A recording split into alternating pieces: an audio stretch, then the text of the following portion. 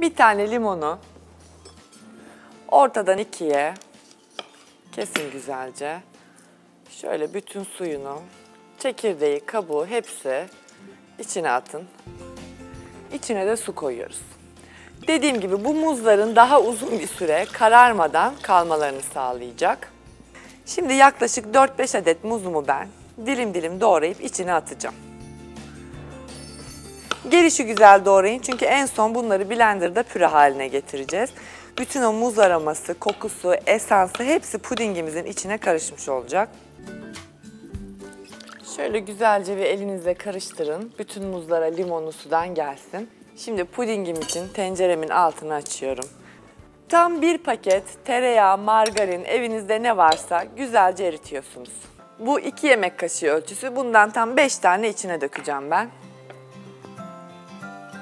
Yağım tamamen eridi. Hemen un kavanozunu yanıma alıyorum. Gelişi güzel.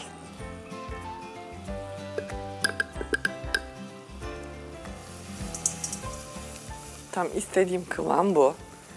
Güzelce kokusu çıkana kadar bunu karıştıracağız. Hemen yavaş yavaş sütümü de ekleyeceğim.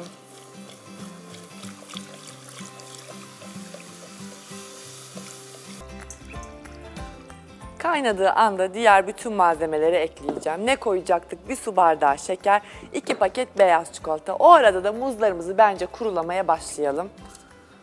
Şöyle tertemiz bir mutfak havlusu alın. Bunu güzelce açın. İçinden muzları alın. Bütün suyunu süzmeye özen gösterin. Bunu iyice şöyle birazcık bekletelim. Bütün suyu. O arada da ara ara karıştırmanız yeterlidir.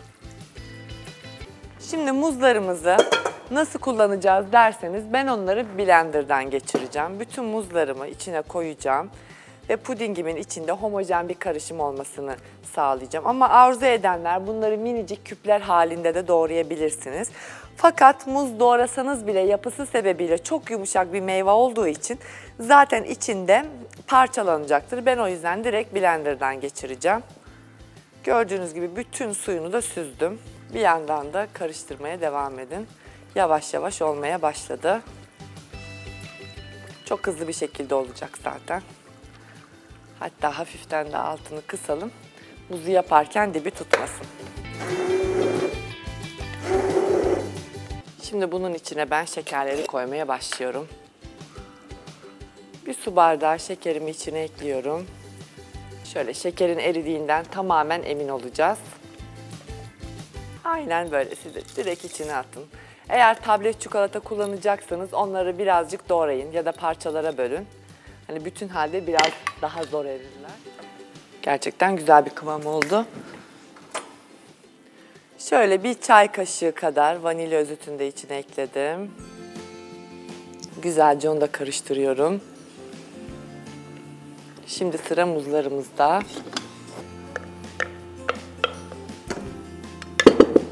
Bunu kesinlikle çocuklarınız için mutlaka deneyin. Çırpıcının izleri üzerinde kaybolmamaya başladı. Yaklaşık bu bana demek oluyor ki yaklaşık 2-3 dakika sonra bakın size de göstereyim.